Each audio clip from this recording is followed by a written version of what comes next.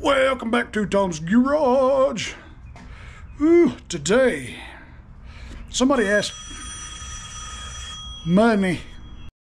Well, anywho, uh, somebody asked me if I could go over how I could replace some spark plug boots. And that's what we're going to do today. That's what we're going to do today. I got a couple things out of the old out of the old junk shed. What we have is a Echo blower. I'm going to pull this boot off and put it back on. We got a little Husky weed eater. And then I'm going to pull this off this uh, Tecumseh engine. And we got us a Honda engine. Honda engine. And I keep a couple of boxes on the shelf with some extra coils and spark plug boots and stuff. You know, you've got several different, several different styles. And I think I got a variety of each I can show you guys. And I've got one more Briggs. This is a EX series off a little push mower. We're going to take a look at this one too. So let's see. I chose this Echo because it's got such a good long spark plug wire. Lots to work with. If you had to, in a pinch, if this thing broke, you can cut it back a little bit because you've got got a little bit of extra play in that. Let me raise the camera up a little bit. So we're going to pull this boot off. Grab a flash of that.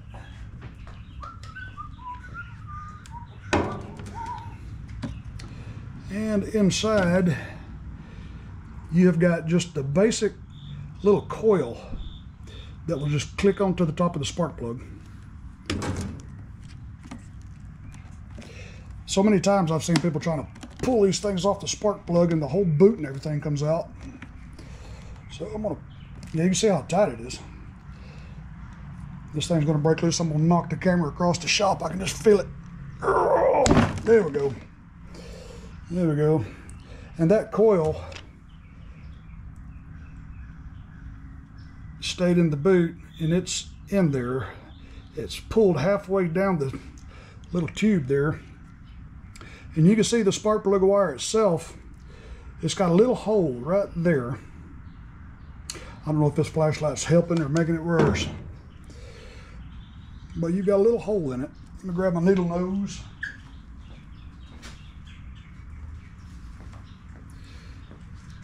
What I'm gonna do is uh, squirt a little bit of this StrikeHold just a little bit because this it's dielectric. It's not gonna hurt any kind of it'll it'll uh, dry out your electrical connections.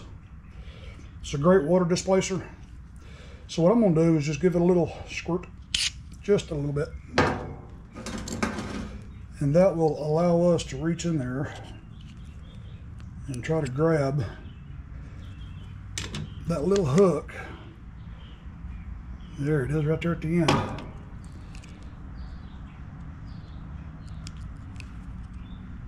There it is. See with a little lube, you can just pull it right out. And that is all it is. This little coil goes right in that hole. Now when you put this back in there, you want to make sure you go straight into the wire, just like that and then we'll slide the boot over it. Be very careful not to make it go out the side. It has to go straight down because it's got to go straight down through and get that wire right in the middle. It's got a real thick jacket on it. So you've got a pretty small target. Just like that. And grab a rag that StrikeHold, man, that, that stuff will creep everywhere and get on everything. If you get too much on there, it's kind of hard to hang on to. So what we'll do is just force it back through there. With it being lubricated, it ought to slide right on. There it is. And always use a lubricant. You're trying to fight that stuff dry, just you're just going to be fighting unnecessary, unnecessary battle. Well, that's the Echo. And this little Husqvarna is going to be the same way, except it is angled. Let me see if I can put that flashlight somewhere. Here, ain't be much help, is it? But this little Husqvarna, there's so many styles like this, Echoes and Stihl, and they all use, it's got a real sharp, it's almost like a 45 degree angle. The wire comes and right down to it. See how short the wire is? May have to take this cover off. What I'll do is give it a little squirt. You can see the you see the coil the same way as that one, but that one is a 90 degree. This one is more of a 45. Grab the wire and just pull it off. And there goes your coil. See the other coil, this was more 90 degrees straight down. This one is curved because you're gonna have it, you're gonna have it at a 45. That's gonna be more of a 45. So what I'll do, if you've got a new wire and you have to poke a new hole, make sure, like I said, go straight through, down, straight down through it. Put it back in there. Or if you just accidentally pull the boot off, just kind of find the old hole. But see how, see how that is going to sit at an angle opposed to the wire.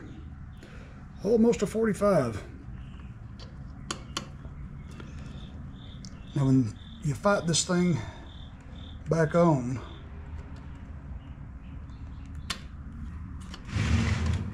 When you fight it back on, you got to hang on to it. Because it's going to want to walk all over the place. Oh, look at there. Get back here. Hook it in. I'm going to take my fingers and hold it. And push it on. Sometimes you can go ahead and get it started in the boot, then you can hook it to the wire. And just follow it right down.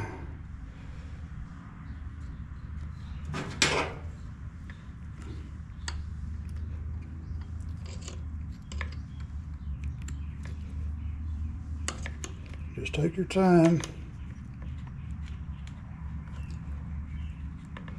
And sometimes that hook can go all the way through the wire and try to catch the boot on the bottom. Try not to damage it. Let's see what we got here.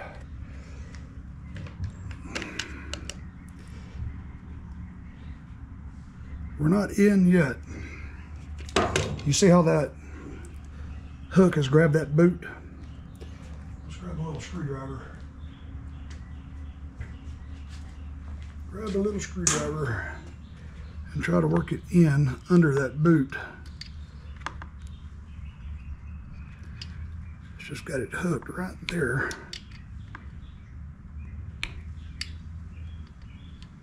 There we go.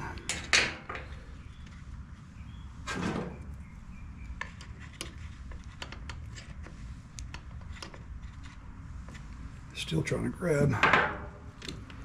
Let's see where we are.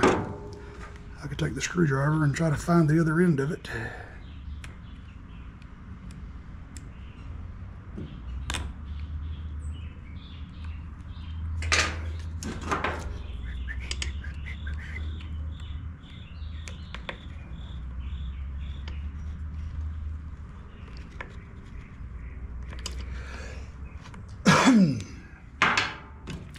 How are we doing here?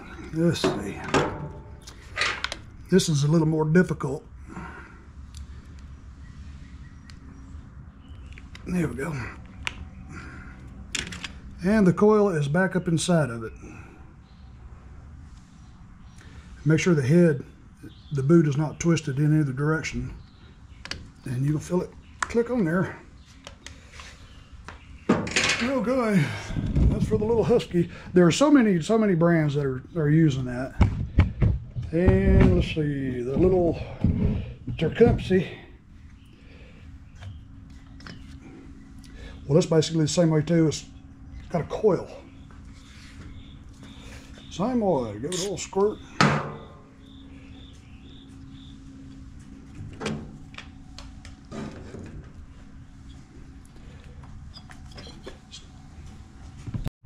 All right, just had a customer come up with some more goose. Okay, I squirt a little bit in there. Sometimes these can be glued also. So we're gonna find out if this one is. Yeah, this one's been glued.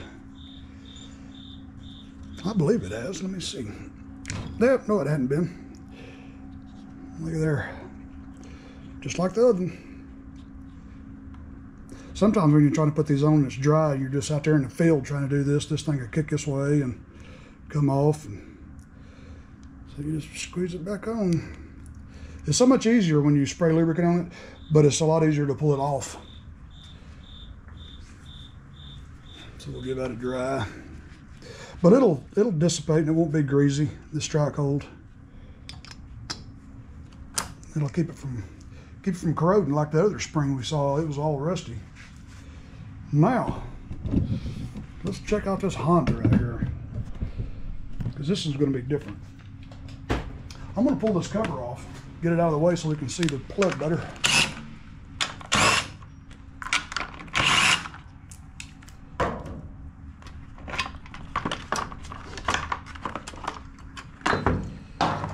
Okay.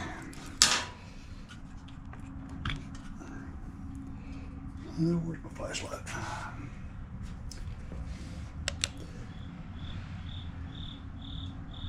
This one appears like it may have a coil too. Let's see if this one's been glued.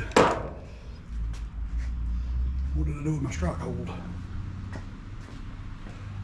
I it over here. That guy just picked up his hedge trimmers and I just lubricated his hedge trimmers with this StrikeHold. Give it a little squirt. Let it run down.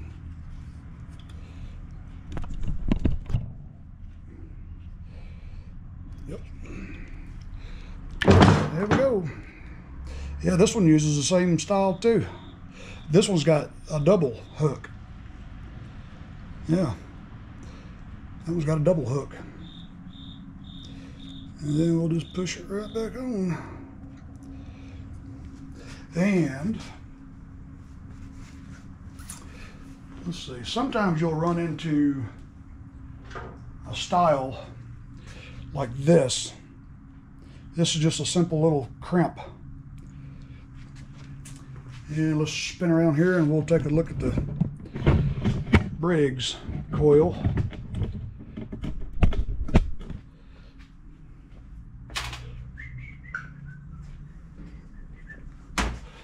Let's see. I don't believe this Briggs, nope, that's not been glued. See, a lot of, sometimes back in the day, you could, you could unscrew this cable wire from the coil itself, but now they're all bonded. They got some kind of glue and stuff in there. I'm not sure how exactly that's attached now, but let that run down a little bit.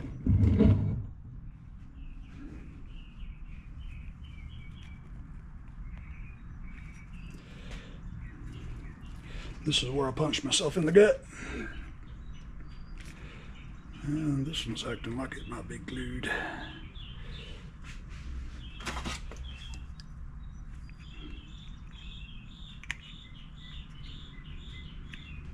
And I just the strike holder right on my glasses. Hmm.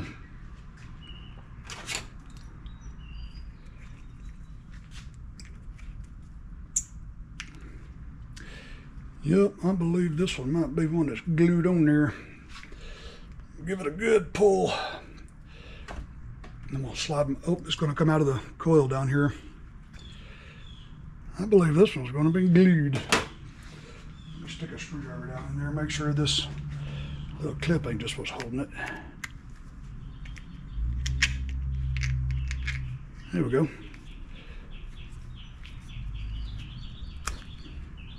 All right, you can see that come completely off. You can see where it was crimped. And you can see the wire, the wire comes out and the wire gets folded over And let's dig out the little crimp tool.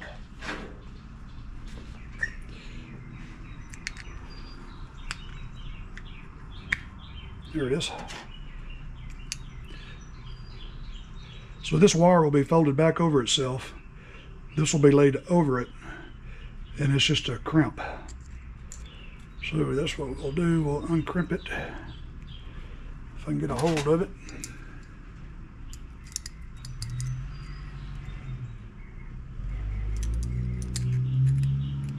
Hmm. Uh, let me see. I need to get something a little more narrow.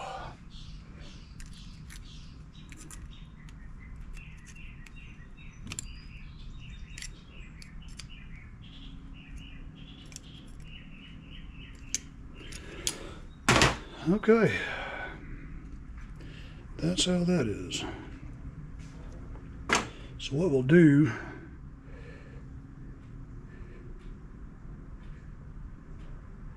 It looks to me like that wire has come off. It looks to me like that wire is broke.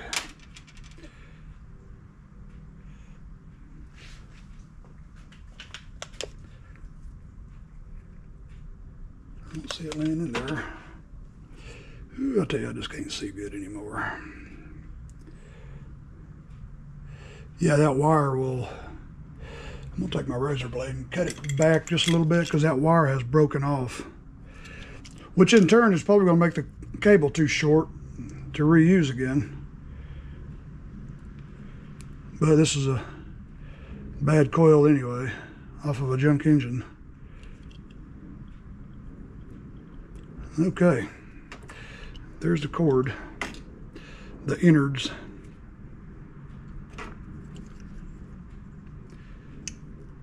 And that's about how much you want. Cut that little piece off right there.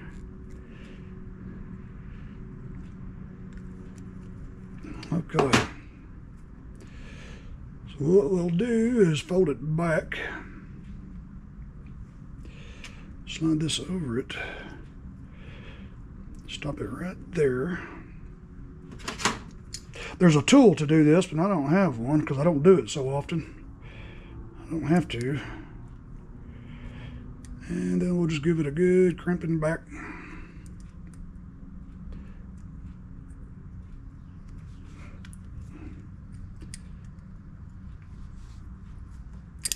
And there we go. That wire is coming under this and it coming back. So we'll just stick this back on if it'll let me.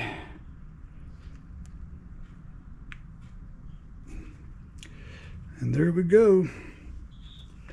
It's back in there, but it's twisted just a little bit. Just rotate it. And there we go. So that's that.